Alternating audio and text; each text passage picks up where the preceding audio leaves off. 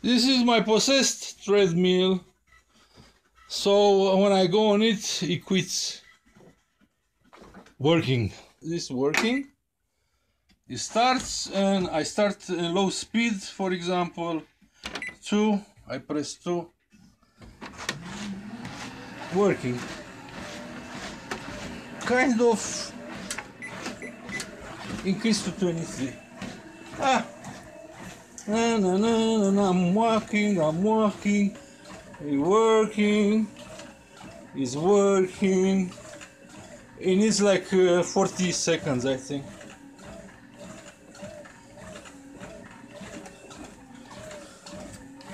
It's working. That's it. No more. Whew. Time 40 seconds.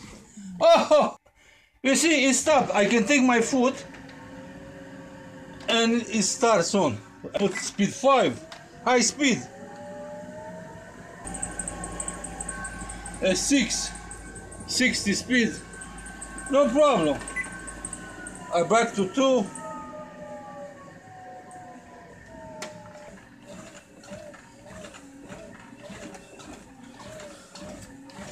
It's working. That's it, no more.